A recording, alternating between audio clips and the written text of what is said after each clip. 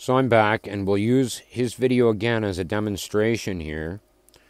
Uh, how I would properly wind this coil to achieve the results that the U.S. military has displayed. And um, they could be using something like this. And in that case, then you'd make like a figure eight around here. And a figure eight around here. And You'd center tap it and you would combine your volts and your amps into the output. In this situation, you would use Tesla's specialty winding technique here, canceling the electrons out on, say, the left side. You would wind a voltage winding on the node on the voltage side. You would center tap the two here, and you would have an output. This would be massive amps and whatever volts you want to output.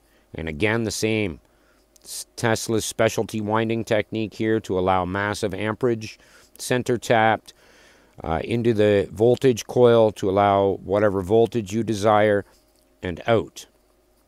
Those two could be individually uh, rectified or placed inside of a capacitor and placed inside of a capacitor and then the two joined together in parallel to give you double the amperage of the two coils and double the voltage. All right, so those are basically an earth ground connection. And if you did this in the reverse, where you were transmitting scalar in the atmosphere, in the ambient, you could receive a scalar wave through the ambient from the transmitting antenna. And this could be aerial grounding.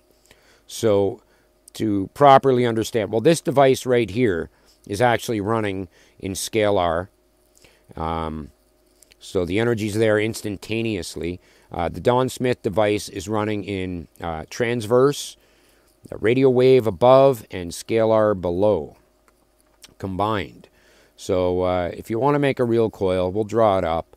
I'll show you the Tesla specialty winding technique, and I already have uh, done demonstrations of it showing the cancellation of the electron and only allowing the amperage, which will not move until there's a potential difference. So uh, it have to be center tapped to the voltage coil. And you have a potential difference here on the amperage winding and here on the voltage winding. You have a difference of potential, therefore energy will flow between the two.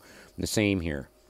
So uh, you want to make the real deal. There it is right there. An earth ground connection, a simple transmitter that, uh, that causes this coil to be in resonance.